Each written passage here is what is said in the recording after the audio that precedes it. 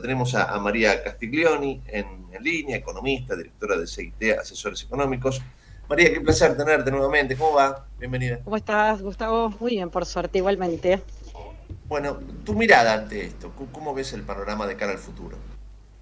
Bueno, vos, vos lo explicaste muy bien. Eh, no es nuevo y no hace falta que, que nadie sea economista para saber que Argentina viene de una situación muy complicada hace muchos años que la Argentina viene mal.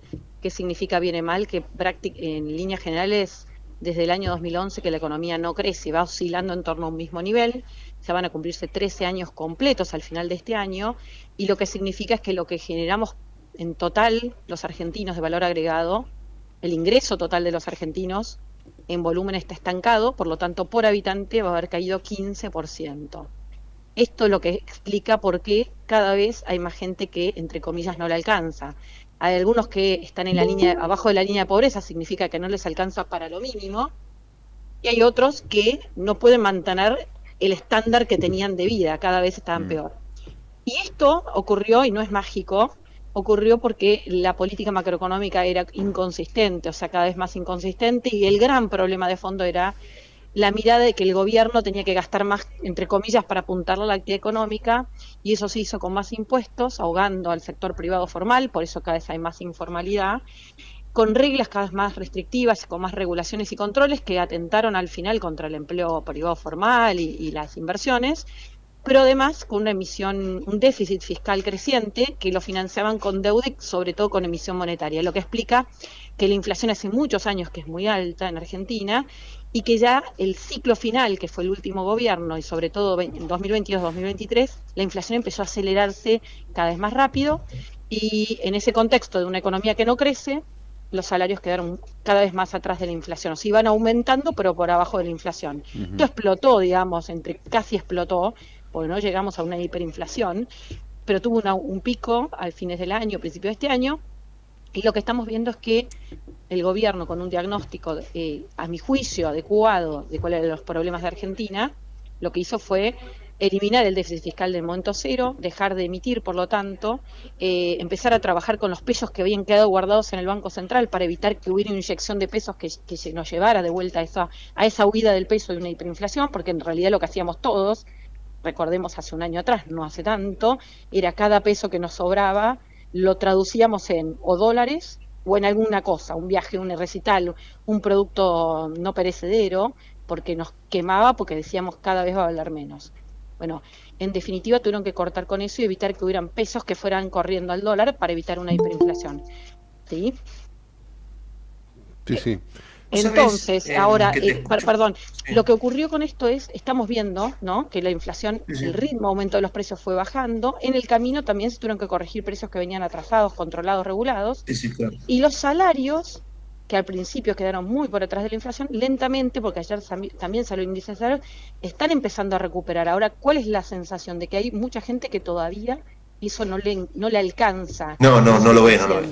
No, no lo vemos muchos. Exactamente. Hay otros que, sí, te tapó el agua, viste, y levantaste claro, pero todavía estás lejos de la superficie. Todavía estás lejos de la superficie, algunos ya están en la superficie, otros están arriba y otros siguen abajo. Eh, y acá la clave es que lamentablemente no hay soluciones mágicas. El gobierno tenía pocas herramientas para la cantidad de problemas que tenía la economía argentina eh, y lo que está trabajando, me parece que se está trabajando, es en lograr que eh, primero la inflación baje, porque si no esto es imposible. O sea, ¿quién va a invertir en un país con, donde no se sabe cuánto son los precios, cuáles van a ser los costos? Corregir también el tema del Banco Central no es menor, porque lo que permite es tener certeza de si yo tengo un producto importado, cuándo lo voy a poder pagar, a qué precio. Recordemos también que a fines del año pasado empezamos a tener desabastecimiento y un sistema nefasto para poder importar que eran las CIRA, que no solo implicaba mayores costos e incertidumbres, sino corrupción, eh, arbitrariedad, y bueno, había eh, eh, bastante desabastecimiento.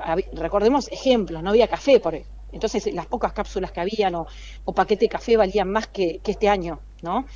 y también es cierto que en ese contexto de incertidumbre y en una Argentina que habitualmente todo va para arriba, nunca bajan los precios, la gente que calculó en un escenario de incertidumbre en el verano los precios pensando en un dólar que iba a ir a 1.500, 1.800, 2.000, o sea, algunos pronósticos iban para ese lado, después se quedaron quietos y no se animaron a bajar los mm. precios. Pues dijeron, bueno, va a haber una devaluación, el crawling peg, este ritmo de la, no va a aguantar.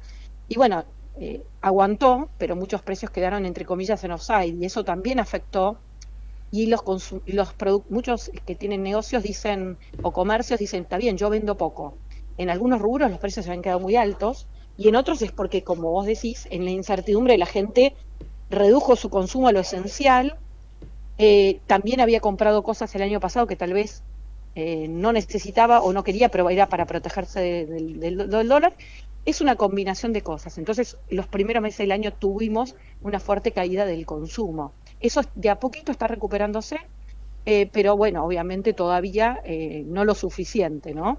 Tú sabes que mm, lo, tengo aquí a, Raúl Vázquez que te quiere hacer preguntas, pero mm, necesito preguntarte y, emparentar esto al otro tema del día, ¿no? Eh, con relación a Cristina Kirchner, acaba de confirmarse su condena por la causa vialidad, una causa que en líneas generales, por supuesto, como tantas otras, atenta contra las arcas públicas, ¿no? Es un duro golpe al bolsillo de todos los argentinos. Pero digo, estas cosas se condenan puntualmente pero las medidas de los gobiernos, donde mandan imprimir billetitos de colores como si fuera este, una, cuestión menor, sabiendo que esto va a generar inflación, sabiendo que el, digamos, la, vida de los argentinos se va a ir em, destruyendo de a poco, esto, no se condena, ¿no? Y también me parece que tendría que ser judicializable. Si vos sabés que eh, hay ciertas medidas que se toman van a terminar destruyendo la economía de todos, ¿viste? pero no se castiga. Eh, sí, es que hasta hace poco en Argentina había un sector de la sociedad que seguía discutiendo si la emisión monetaria, o sea, emitir billetitos sin, sin respaldo, era inflacionaria o no.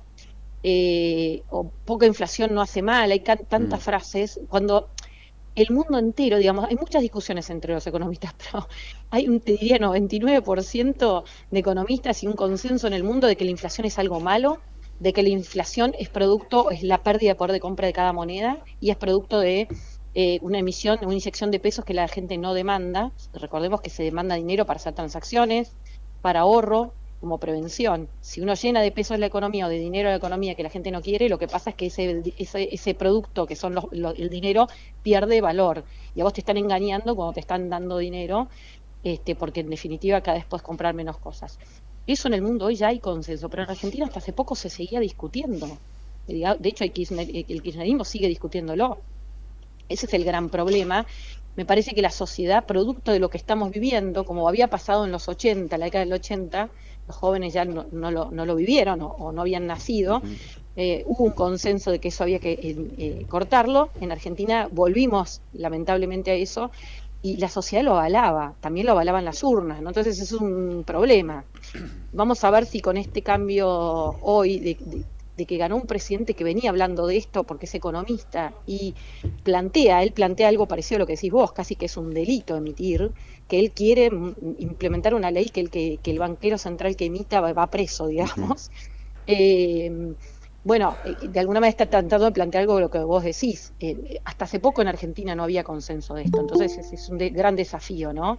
Este, que, estas discusiones que en el mundo se, se, se zanjaron porque no es que no hay emisión, pero está claro que es muy limitada porque en cuanto la gente percibe que hay más, dinero, la gente, empiezan a haber inflación y de hecho el mundo post-COVID eh, se debatió con esto, ¿no? Tuvieron más inflación, que para ellos más inflación fue llegar a picos de 6 anual o 9 anual, que para ellos es un horror, y Argentina, bueno, estamos luchando y estamos festejando un 2,7 en un mes, ¿no? Porque veníamos de un promedio el año pasado, promedio de más del 10% mensual de inflación el año pasado, con un dólar atrasadísimo, con una brecha y con precios congelados, precios cuidados, tarifas congeladas. O sea que eh, claramente estamos festejando esto porque venimos de algo muy malo, pero que sigue siendo todavía un desafío, ¿no? Por más que la gente diga no es el principal problema, sigue siendo todavía muy alta, ¿no? María Castillo, ¿cómo te va? Te hago la última, Raúl Vázquez, ¿cómo estás?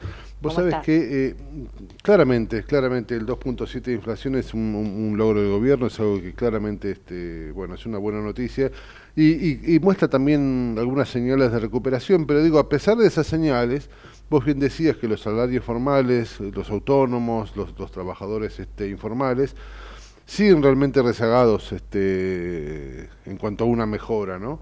Eh, uno mm, de alguna manera le parece bien que los alimentos sean muy, muy pocos, también ve que de alguna forma los servicios este, están presionando un poco las inflaciones arriba, pero la pregunta, aunque parezca ambiciosa y sabemos que hay mucho por laburar, la pregunta es, ¿en qué momento crees, más allá de que dijiste que no hay magia, en qué momento, si hay algún mes del 2025 en donde podamos ver realmente que los salarios empiezan definitivamente a ganar la inflación? Digo pensando en el bienestar de la gente, ¿no? Sí.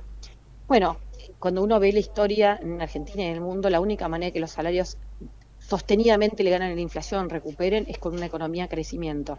Mm.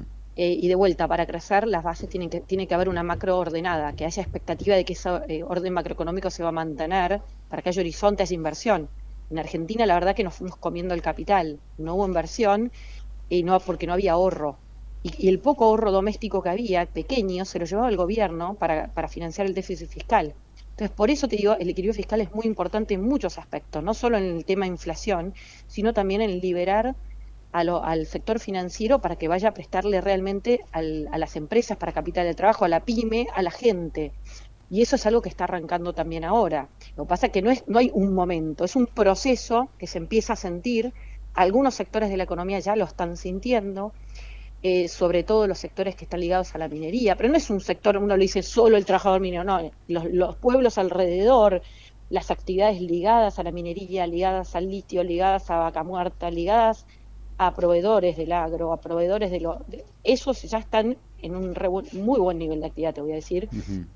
Otro sector que estaba muy castigado está recuperando, que es el tema de actividades inmobiliarias y todo eso, que tiene que ver con la ley de alquileres. Ya estaba muerta y nadie habla porque no había un sindicato que los representara. La cantidad de sectores que dependían de, ese rubro, de lo que era alquileres, ventas, etcétera, que habían caído prácticamente a nada. Eh, o sea, todo eso está empezando a reactivar. Hay sectores que vienen más rezagados. Eh, por eso te digo, no es pareja la recuperación, no es que hoy lo va a sentir la sociedad en su conjunto. Hay algunos que ya lo están sintiendo. En el interior, por ejemplo, hay una, hay una situación mejor que en el conurbano, que es donde está peor. Y eso lo podemos ver también en los índices de confianza del DITELA que se relevan todos los meses y le preguntan a la gente cómo se siente que está hoy respecto al año pasado, cómo siente que va a estar su situación personal, cuál es la intención de compra de bienes durables que tiene la gente. Bueno, está recuperando, todavía en, en Gran Buenos Aires y en la Ciudad de Buenos Aires están más bajo, en el interior ya está en mejores niveles, ¿no?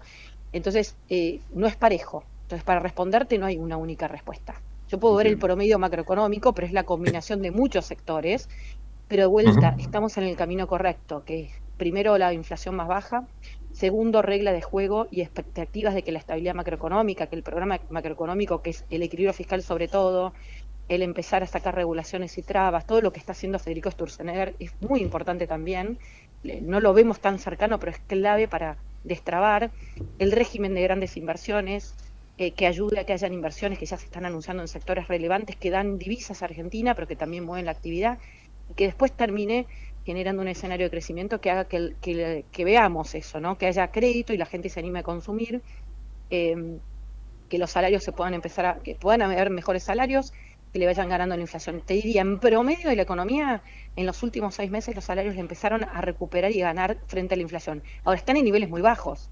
Por eso es la pregunta, estábamos capaces en el décimo subsuelo y estamos recuperándonos. Muchos todavía están abajo del agua, otros ya están en equilibrio, otros están arriba, pero no es parejo y obviamente lleva tiempo.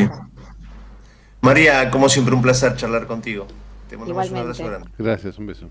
María Castillo, economista, directora de CIT, Asesores Económicos, con una mirada interesantísima en cuanto a lo que pueda llegar a pasar en materia económica. Por supuesto, insiste María en que, y reconoce lo, que vemos todos, que la situación actual es difícil, sobre todo para el bolsillo de la gente, pero tiene esperanzas en cuanto a lo que pueda llegar a pasar en la Argentina en los próximos meses.